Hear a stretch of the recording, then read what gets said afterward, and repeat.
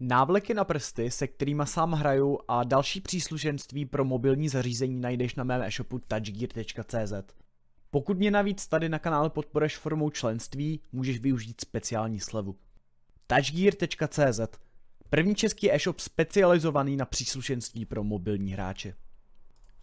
Ahoj, já jsem Xero, vítám vás u dalšího videa a v tomto videjku, myslím si, že to je první komentovaný replay s 907 eh, na to, tomhle tom kanále se podíváme na komentovaný replay s 907. Uh, 907, objekt 907 je nový uh, ruský desítkový sběratelský střední tank, který se dal získat jak jinak než v bednách. Uh, za mě osobně to byl drop ze 17. a pak z 25. bedny, takže jsem i tak ten tank měl jako za, jako, k čemu mi je, že by ten tank padne dvakrát po utracení prostě dvou tisíc v těch bednách, jako, chápeme. Takže a tenhle ten tank mě ne, jako, doufám, že se tady ten content s tou 907 vrátí.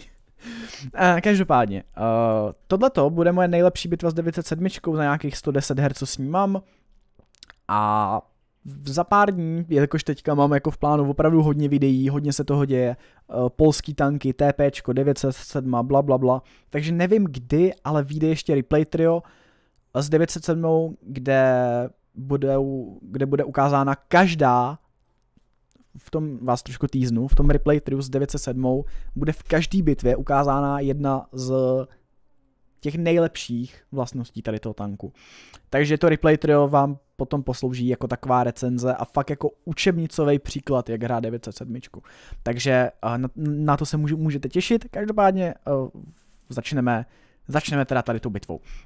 Uh, Majský ruiny, nebo starobilý ruiny, nebo jak se tady ta mapa, starobilý pyramidy se jmenuje. Hlavní klíčové charakteristiky tady toho tanku, tak jsou pohyblivost, jezdíte 60, což je úplně skvělý. Uh, máte 7 stupňů deprese, což je hodně super. Uh, máte věž, která docela bouncuje, ale máte slabou střechu, podobně jako 140 třeba. A máte teda nejhorší DPM z ruských medek. 22 nabíjí, 22, která doteď měla nejhorší DPM z ruských medek, tak nabíjí 5,4. Uh, tohle nabíjí 5,5, takže, ale to je zanedbatelný DPM, je furt nějak 3000, 300, 400, něco takového, takže uh, poškození za minutu vám rozhodně nechybí. Um, právě to hodně potom kompenzuje uh, ta, ta pohyblivost. Co se týče chování děla, chování děla je lepší než u 20, ta je, ta je škoda, ty rány do, do toho Bčka. Uh, lepší gun handling než u 22, ale horší než u generických těch ruských medek, to znamená, že musíte doměřit, snapshoty nejsou jako něco, co tady to dělo úplně spolehlivě trefuje, takže na to se uh, musíte připravit. A jenom tady řeknu na začátku, všimněte si, že už mám jenom 4 héčka. Uh, na začátku tady té bitvy jsem měl 6 héček, jedno jsem dal tomu TVPu, druhý teď Grillovi, to jedno jsem myslel do Bčka. Po této bitvě jsem si zvýšil počet héček na myslím 8. A možná přemýšlím, že to ještě zvýším na 10. A protože, no to nebudu spojovat. Řeknu vám jenom to, že mi v tady té bitvě budou chybět hečka. A fakt jako hodně mi budou chybět hečka. A teďka jsem se, jsem se rozhodl, že využiju pohyblivosti a chtěl jsem nalítnout na tu IE7, na druhou stranu mi přišlo možná jako lepší play se zbavit toho Leoparda, protože má DPM, zároveň každá rána do Leoparda bude pene, za další uh, jsem prostě do něj můžu střílet héčka, takže tady ta damage do Leoparda bude úplně sama. Uh, já mu tady dávám ještě... Teďka jsem se připravil o poslední hečko za to něco. To byla chyba, to byl misplay, tady toto hečko jsem, jsem si měl rozhodně nechat. A vidíte, že za jízdy je kruh té 907 fakt jako docela velký, ale tak hold, je to prostě balance faktor, ale taky se můžete všimnout, že za v podstatě dvě a půl minuty, co hraju, tak už teďka mám 4600 damage a přede mnou je ještě hrozná, ale opravdu strašná kupa HPček. Je sedmičce se pochopitelně nechce na mě úplně píknout, ale já zase nechci najít mezi ně, protože mají eh, dva zásobníky a je sedmička jako mi může dát velký high roll, že to jako, chci tady trošku držet HPčka. Každopádně teďka naši, naši jedou, zabili toho krana. Já jsem si řekl, OK, tak já teda pojedu taky. No a tady bude přesně to, o čem jsem mluvil, tady mi budou chybět hečka. Tohle mohlo být hečko. tohle mohlo být héčko. Naštěstí to byl zápal, takže to mi trošku vykompenzovalo to, že jsem tady neměl héčka. A teďka jsem se rozhodl střílet už tu I7, protože jsem měl na ní jistější ránu než na to padebéčko. Tady nechápu tenhle ten bounce, nechápu tenhle ten bounce, nechápu, jak jsem mohl neprobít tady tu ránu. Uh, a tady by ještě padl low roll. Uh, Mně se tady povedlo jumpem zabít to padebéčko. A za tři a, za tři a půl minuty 6600 damage. Ani jsem se nenadál, jak rychle tam, tam ten damage jako naskákal. Uh, je to proto, protože tenhle ten stroj je strašně, strašně moc dynamický. A vy jak jezdíte 60 a máte hrozně malý odpor terénu, tak jste schopni lítat po mapě fakt hodně podobně, jako třeba ten Leopard, který jsem se sekával tady tu bitvu. A to znamená, že vy jste schopný si ve většině případů dojet pro jakoukoliv damage.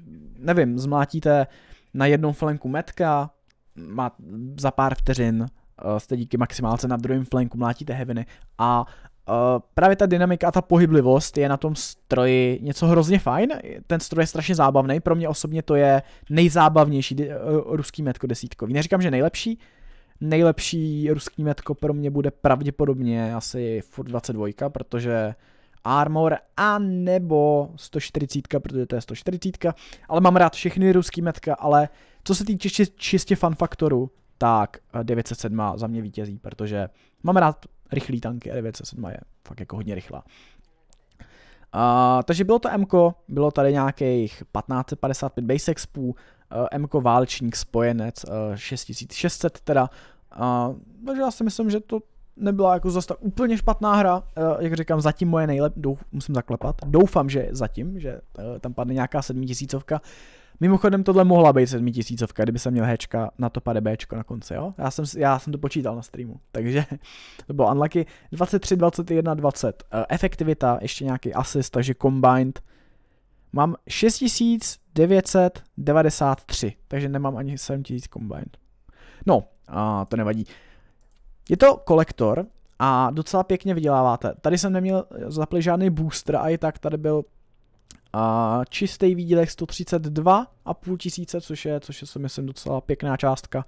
A OK, replay na uh, 907. Jak jsem sliboval uh, během pár dní uh, od vydání tady toho videjka, uh, vám vyjde replay trio, kde sice nebudou jako damageově takhle dobrý bitvy, ale zase se v těch bitvách zaměříme spíš na ty mechaniky, jak využívat tenhle stroj správně. A hodně tam, fakt každá bitva bude Každá bitva bude highlight jedný silný klíčový eh, vlastnosti toho tanku. Ten tank má tři klíčové vlastnosti a dohled a kamo, protože tenhle tank má nejlepší kamo z desítkových medek a potom pohyblivost a pak celková jakože no, uvidíte sami v tom replay triu. A Doufám, že se vám tohleto eh, videjko líbilo, tato bitva s 907, pokud jo, určitě hoďte palec nahoru, taky budu moc rád, když ho, začnete odebírat. Já, pardon, už natáčím asi čtvrtý video za sebou v řadě, takže už jsem takový trošku vymluvený. A budu moc rád, když dáte odběr kvůli 8000, který máme za chvilku. To už víte, znáte klasicky. Takže, takže tak. Moc krát děkuji, že jste koukali. Vidíme se u nějakého dalšího videa nebo streamu. Zatím se mějte moc pěkně a ahoj.